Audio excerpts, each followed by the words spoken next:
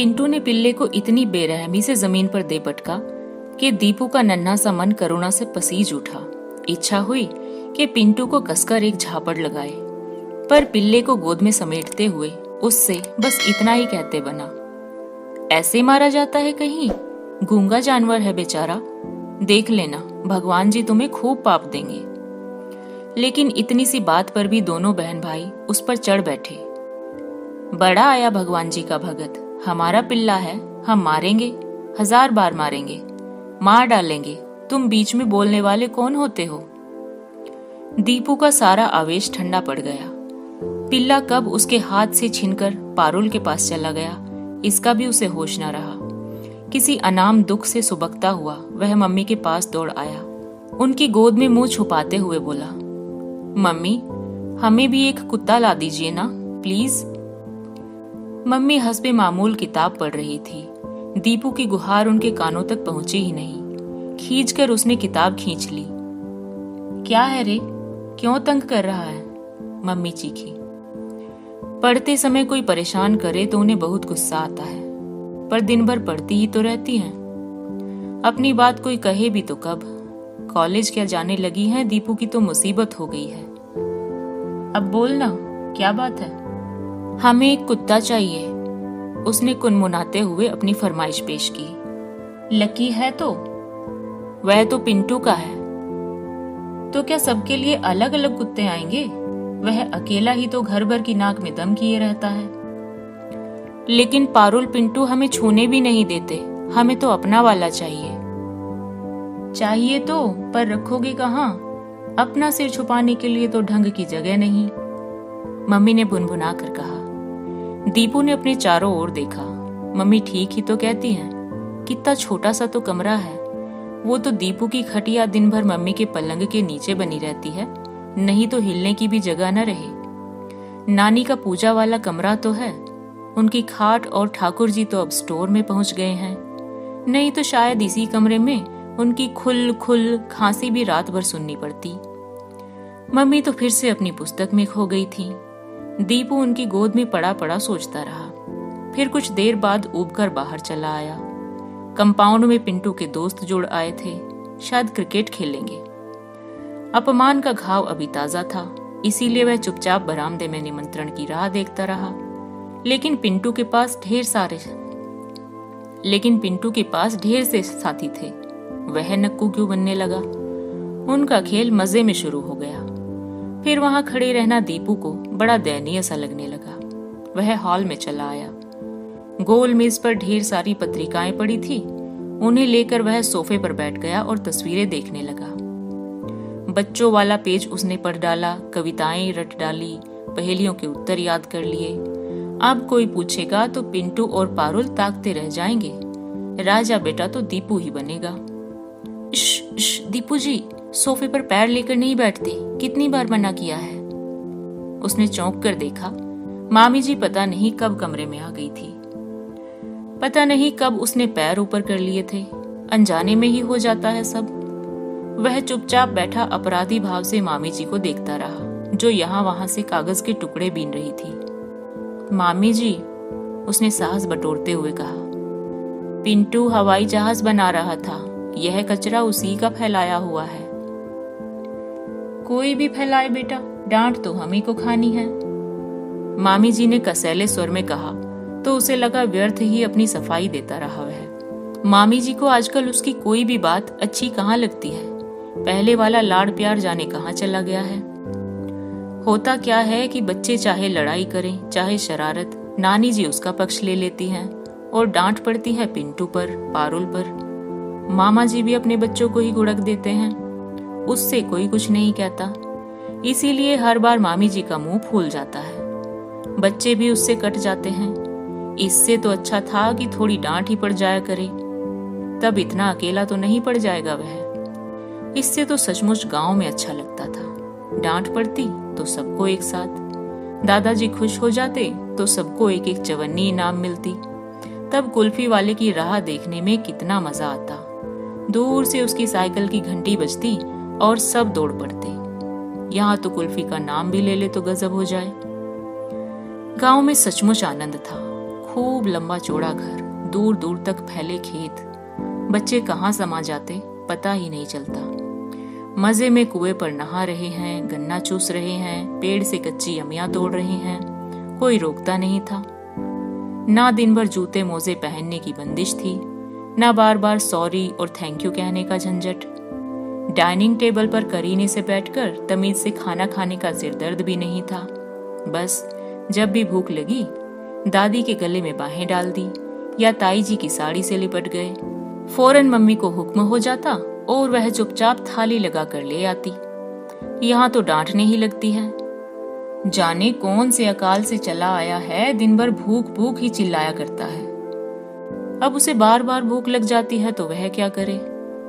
अंग्रेज़ी स्कूल की समस्या न होती तो वह गाँव में ही बना रहता। मम्मी चाहे यहाँ चली आती, यहाँ उसे जरा भी अच्छा नहीं लगता। मम्मी सुबह कॉलेज चली जाती हैं, फिर दिन भर या तो पढ़ती हैं या बुनाई लेकर बैठ जाती हैं।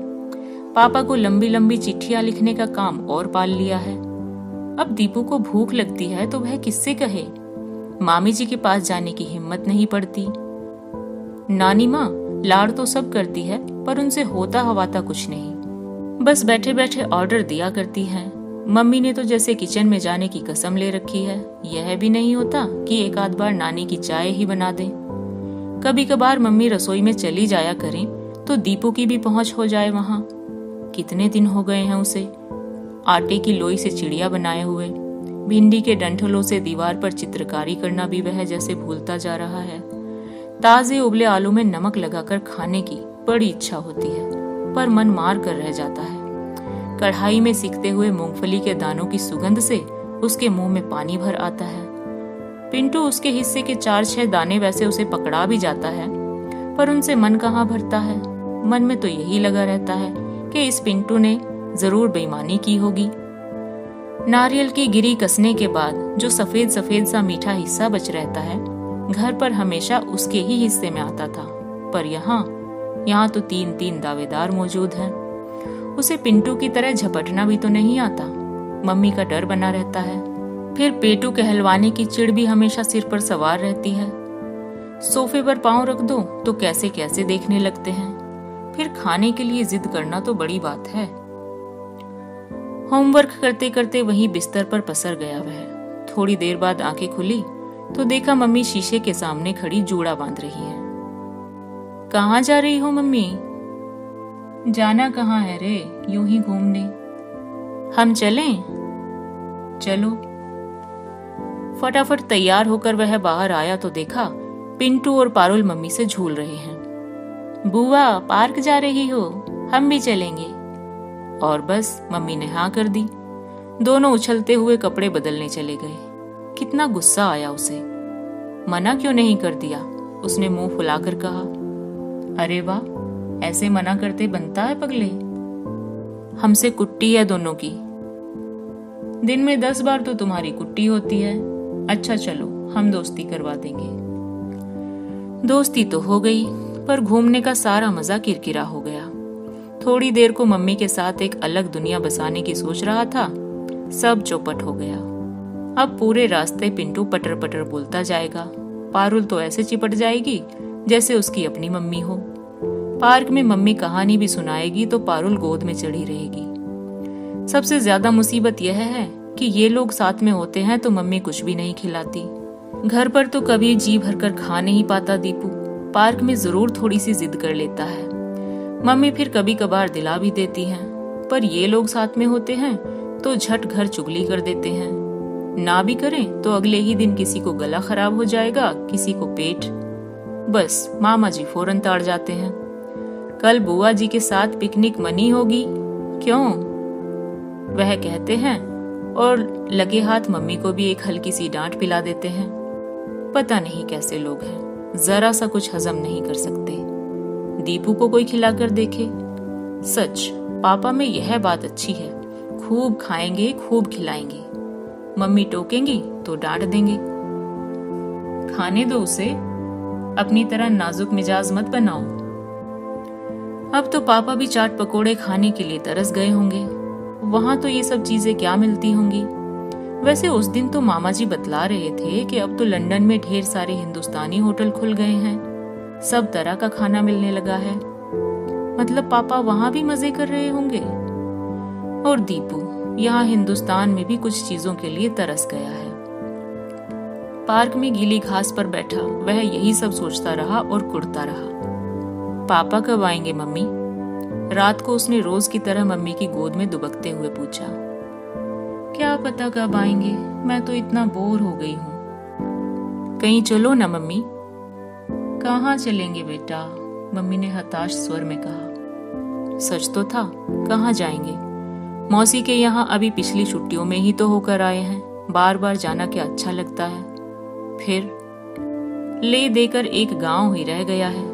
दीपू की तो वहाँ मौज रहती है, पर मम्मी बेचारी बड़ी परेशान हो जाती है।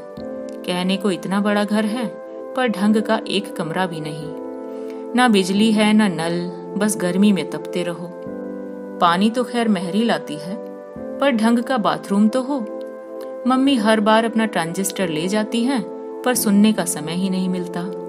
किताब तो वहाँ वह छूती तक नहीं, बस दिन भर ताईजी के साथ रसोई में घुसी रहती है। या गाँव की औरतों से घिरी दादी के पास बैठी रहती है। खूब आगे तक सिर ढके चुप चुप रहने वाली यह मम्मी कितनी अजनबी सी लगती है, कितनी बेचारी सी। ना, अपनी खुशी के लिए मम्मी को परेशान नहीं करेगा वह। अपने घर कब चलेंगे मम्मी? अपने घर पापा तो आ जाएँ। पापा कब आएँगे? बस घूम फिर कर वही प्रश्न, पापा कब आएँगे मम्मी? आखिर पापा की वह चिट्ठी आ ही पहुँची, जिसका इतनी बेसब्री से इंतज़ार था। कितना खुश था दीपू उस दिन। सारे घर में नाचता हुआ गा रहा था। अब तो हम अपने घर जाएँगे। मामी जी से आखिर न रहा गया, पूछ ही लिया। दीपू जी, यह घर किसका है फिर? तुम्हारा नहीं है? ना, उसने बेतकल्लुफी से कहा। यह तो पिंटू लोगों का है, हमारा तो भोपाल में है। भोपाल को भूल जाओ बेटे, अब कलकत्ता की बात करो। मामा जी ने पीठ थपथपा कर कहा, पर कलकत्ता की कल्पना उसे गुदगुदा न सकी। उसके मन प्राणों में तो वही पुराना घर बसा हुआ था। पापा जी को लिवाने मामा जी के साथ दीपू और मम्मी दोनों बम्बई गए थे। हवाई जहाज़ देखने की उसकी बरसों की तमन्ना पूरी हुई थी। और वहाँ तो इतने ढेर सारे हवाई जहाज़ थे। वहाँ उतने सारे लोगों में दूर ही खड़ा था। पापा को पहचान भी ना सका। पास आने पर भी कुछ देर तो संकोच में दूर ही खड़ा रहा। आखिर पापा ने ही उसे गोद में उठा लिया। कितना लंबा हो गया है रे, उन्होंने प्यार से उसे चूमते हुए कहा। वह धीरे धीरे पापा के गालों को छूकर देखता रहा, फिर धीरे से बोला, पापा अब अपने घर चलेंगे ना? पापा उसके लिए ढेर सारे खिलौने लाए थे। फर वाला कोट, रंगीन स्वेटर, तस्वीरों वाली रंगीन किताबें खुशी का जैसे पूरा सामान ले आए थे। पर सबसे बड़ी खुशी थी तो बस घर जाने की, अपने घर जाने की। पापा आए तो मेहमान नवाजी का एक लंबा दौर शुरू हो गया। कभी किसी के यहाँ खाने पर जाना है तो कभी किसी के यहाँ चाय पर। दो चार पार्टियाँ तो मामा जी ने ही दे डाली। दीपू बुरी तरह बोर हो गया था। इन लोगों को दो साल से देखते देखते तंग आ चुका था। अब कोई आकर्षण बाकी नहीं था। लगता था पापा पता नहीं कितनी लंबी छुट्टी लेकर आए हैं, घर चलने का नाम ही नहीं लेते। मामा जी के यहाँ से चले तो सीधे गाँव पहुँचे, वहाँ भी तो इंतज़ार हो रहा था। दादी ने पता नहीं कितनी और कैसी कैसी पूजा रखी हुई थी। गाँव पहुँचते ही वह खटराग शुरू हो गया। मिलने वालों का यहाँ भी तांता लगा था। पापा इंग्लैंड क्या हो आए, जैसे अजूबा बन गए। दादी तो उन्हें ऐसे देखती कि बस, रोज शाम को नज़र उतारी जाती। मम्मी कोने में छिपकर हंसती रहती। राम राम करके चलने का दिन आया तो सबकी आँखें गीली हो रही थी, पर दीपू का मन बल्लियों उछल रहा था। वह अपने घर जा रहा था। वहाँ मेज पर चढ़कर हाई जंप लगाएगा, बालकनी पर घुड़सवारी करके मम्मी को डराएगा, रेडियो के सुर में सुर मिलाकर गाएगा, ये सारे काम उसने कब से मुलतवी कर रखे थे। पर मम्मी के साथ उस कबूतर खाने में प्रवेश करते ही उसका मन बैठने लगा। यह है क्या, मम्मी? यह अपना घर नहीं है? यही है बेटा, यह कलकत्ता है। यहाँ ऐसे ही छोटे से घर में रहना पड़ेगा। धत तेरे की, क्या सोचा था और क्या निकला? दूसरे ही दिन ट्रक आ गया था। धीरे धीरे सामान खुलने लगा तो हर्ष और विस्मय से उसकी बाछे खिल गई। वह हर चीज़ को सूंघता रहा। मम्मी छत पर गद्दे सुखाने लगी तो उन पर लोटपोट होता रहा। दो साल तक बंद रहने के बाद भी उनमें एक परिचित महक बच गई थी। यह महक, यह गंध दीपू के मन में सोई यादों को तरोताजा कर गई। दिन भर बनी संवरी, लेकिन गुमसुम रहने वाली मम्मी गुनगुनाती हुई काम में जुट गई थी। सलवटों पड़ी साड़ी और बिखरे बिखरे बालों में मम्मी एकदम घरेलू लग रही थी। पापा दनादन पैकिंग खोलते जा रहे थे। मम्मी सामान धो पूछ कर जमाती जा रही थी। दीपू उन दोनों के बीच फुदकता छोटे मोटे काम कर रहा था। शाम तक किचन सही शक्ल में आ गया था। ड्राइंग रूम भी बैठने के लायक हो गया था। दोनों हाथ ऊपर उठाकर पापा ने एक लंबी सी जमहाई ली और ऐलान कर दिया कि बाकी काम कल किया जाएगा। और यह भी कि रात का खाना होटल में खाएँगे। एकदम घर में उत्सव का सा वातावरण बन गया। उसके हाथ मुँह खूब अच्छे से धुलवाकर मम्मी ने उसे नए लंदन वाले कपड़े पहना दिए और खुद नहाने चली गई। पापा वॉश बेसिन के सामने खड़े होकर शेव बनाने लगे। नाइट सूट पहनकर शेव बनाते पापा उसे बड़े अपने से लगे।